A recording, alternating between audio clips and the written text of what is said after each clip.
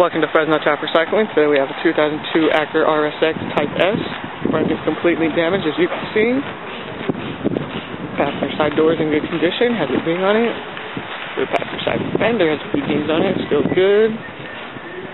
Back bumper is damaged as well as the trunk lid as you can see. Tail lights are in good condition. The driver's side fender is in good condition.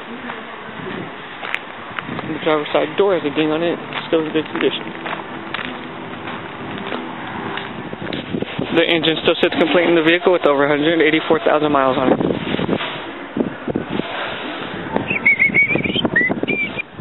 The driver's side door panel is in good condition. The dashboard is in good condition.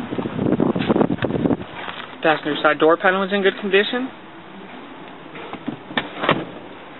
The back seats are in good condition.